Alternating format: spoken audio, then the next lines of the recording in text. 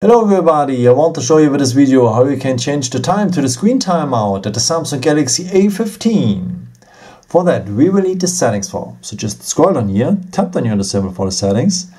Then you need to go to the point display and a bit below you will find the point screen timeout. By default it's uh, 30 seconds uh, but you can uh, yeah, choose 15 or if you want to increase it you can choose a higher one no? but please don't take more than two minutes because the screen is taking a lot of energy uh, something to save energy is this one here keep screen on while while, viewing because the, the camera can recognize if you are looking on the screen or not no? and that saves at the end of the day a lot of energy so may take one minute if you want to increase it uh, and uh, turn this one on here and then you will save a lot of energy as well and the screen is not turning off all the time while you're reading something yeah, I hope I could help you with this video and answer your question. And uh, yeah, maybe if you want, you can leave me a nice comment or give me some thumbs up. That will be very helpful for more videos. Uh, thank you so, so much for.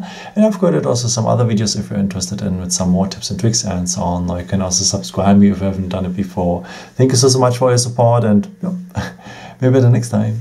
Ciao.